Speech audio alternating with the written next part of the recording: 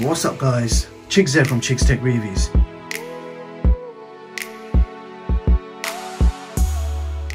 So today I've got my hands on the world's smallest 4K mini PC. So this is the Chuwi Larkbox people. Just take a look at the size of this unit. It literally fits in the palm of my hands. Now, let's talk about the power. This box is powered by the Intel Celeron J4115 quad-core CPU along with Intel Ultra HD 600 graphics.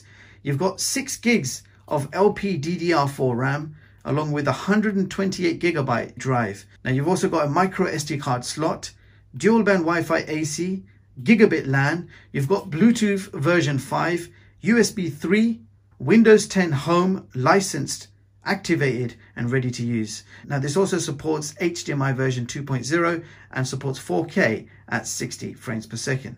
Now quick look at what you get inside the box. So you're getting a cardboard pouch and when you open it, you'll actually find a metal mount so you can mount the mini PC to the back of your television. Now you have here a power cable and a power brick. And you'll notice it's actually a USB Type-C power brick. Output 12 volts, 2 amps. So yeah, here it is in my hands. We've got a matte black finish, lots of ventilation going all the way around. Now on the front, we have a physical power button. On the side, we have a micro SD card slot and a headphone jack. If we keep going on the back, you will see your power socket and it's USB Type-C, two USB 3 ports and your HDMI out, and it does support HDMI 2.0. If we keep going, there's nothing on this side, and that will bring you back to the front of the unit. And this is what the bottom of the box looks like. So you basically place that on top, and then you'll be able to mount this to the back of your television or monitor. So this mini PC is upgradable. You have a spare M2 SSD slot supporting up to one terabyte. So this box is absolutely tiny in size and I just want to quickly bring in an Android TV box just to show you the difference in size. Look at that people. Look how small the Chuwi Larkbox Mini actually is. So I also want to place this right next to my Mac Mini just to show you that this is the world's smallest 4K mini PC running full Windows 10 Home. All right, screwdriver's ready. We're going to check out the internals. I am excited to see what the internals look like because this is a tiny, tiny mini PC. So four screws on the back. Okay, so with the four screws off, you should be able to just open up that lid. And here is your spare M2 SSD slot, which supports up to one terabyte capacity. So very easy way to add more storage to this tiny mini PC. I'm going to open these four screws and get a closer look at the system.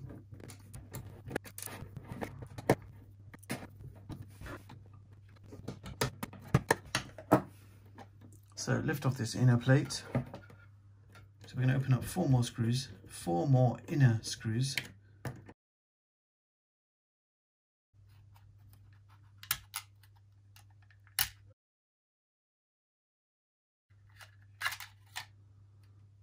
So here is the first part of the board. You can see the micro SD card slot, the USB ports, headphone jack, and the M2 SSD. So we put that to the side and here you can see the internals and I do feel compelled to keep going. I want to see what sort of heatsink we have. So four more bolt type screws.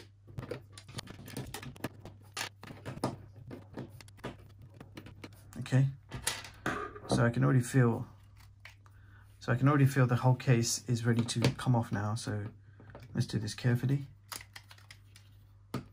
Okay, so I'm absolutely loving the construction of this. It's uh, very unique. So take a look at that, people. Try and lift this off carefully. Over here you have the RAM and internal storage soldered onto the board and you've got your CPU in the middle. Now I am going to try and get under this. Open four more screws.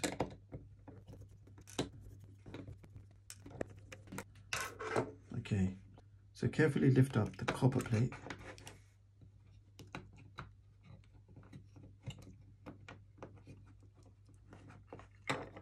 And look at that, people. Quick close-up of that. Nice. The design on how they put this together is very, very cool. So I'm just going to put this back on now. Okay, so you've seen the heatsink. We've got soldered on internal storage and RAM. And then you've got a spare M2 SSD slot at the top, which supports up to one terabyte. So awesome stuff. Now let's try and put this back together in one piece. Absolutely love the design construction of this, how they made this so uniquely small. Let's put this on first. Okay, that's done. HDMI ports matched up. Now the first, close these bolts. So the longer bolts go in first. Very nice and easy to assemble. Okay, so that's secure. We're going to put the other board on now. So all we've got to do is match them up to the USB ports on this side. So here we go.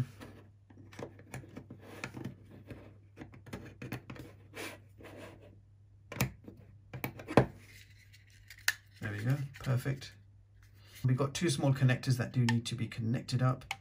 So if I just push them down and make sure they're seated properly, awesome stuff. And let's close out the remainder four bolts.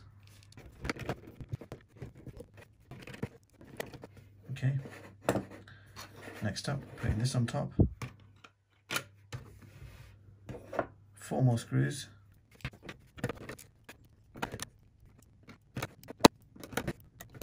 And the final lid goes on top with four more screws. So you've seen the internals. I am now going to hook this up to my 4K monitor and capture card. And we're going to find out exactly what this little box is capable of. I'll be right back. So first of all, I ran a boot up speed test and this mini PC took 31 seconds to fully load Windows to its desktop. Now here is your full Windows 10 home desktop. So first of all, let's take a look at system properties.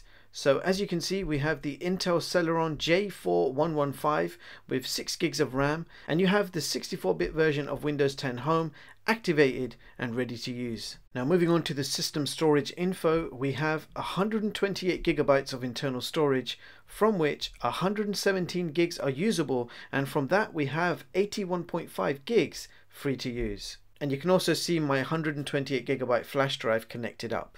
So this is the full version of Windows 10 Home. It comes with all the usual Windows apps you would expect, including the Windows App Store. So you can go ahead and download all your favorite apps and games. So this is basically a full PC experience in a super compact size.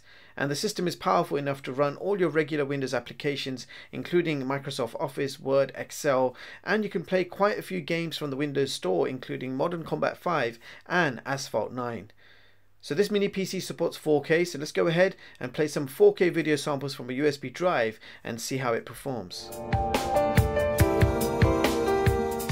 So unfortunately playing 4K at 60 frames per second from a USB drive struggled and looked quite laggy. Now when I tested 4K at 30 frames per second, the experience was much better, nice and smooth with no lag at all. So moving on to some 4K video streaming on YouTube. Now 4K at 60 frames per second is the maximum supported resolution. Let's see how it plays.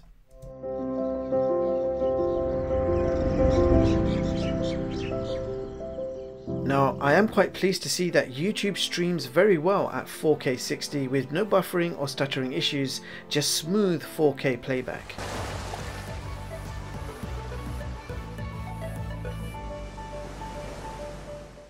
So next up we're going to be checking out Netflix streaming and after a few minutes of streaming the test patterns it told me that Netflix supports a maximum of 1080p and the same applies to Amazon Prime Video. I was able to stream a maximum resolution of 1080p. So now I'm going to test out briefly the multitasking capabilities of this mini PC. I will open up a whole bunch of applications and games all at the same time and we will see how the system copes.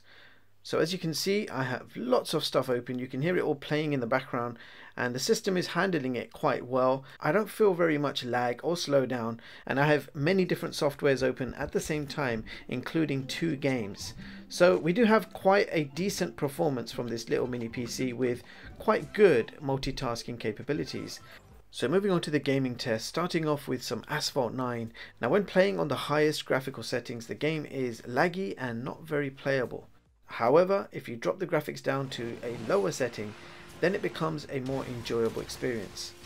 So overall, this mini PC with Intel HD graphics is not really designed for gaming, but you can get away with playing games on low settings and basic games like Candy Crush play absolutely fine. Delicious. Now this smallest 4K mini PC is also capable of playing AAA gaming titles with Google Stadia. So I have just opened up Google Chrome, signed into my Stadia, and also my Stadia game controller linked wirelessly with ease, and now I am able to play all my Stadia games in its full glory. However, Please do note, as we are connected via Wi-Fi only and there is no Ethernet port, you're not going to get the very best Stadia quality, but nevertheless, Stadia game streaming works very well and is very enjoyable on this mini PC.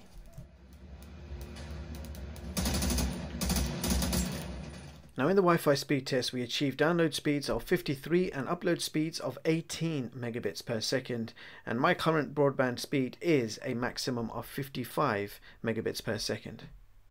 Now Antutu benchmarks are no longer available on Windows so instead we are looking at the CPU benchmark scores by Passmark software and as you can see this new Chuwi box has scored 2919.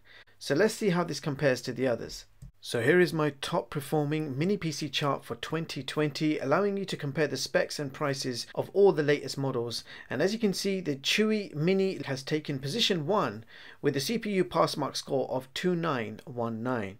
So whilst using the box I did notice the fan switch itself on and off occasionally so I think it's a good idea to test that fan noise level.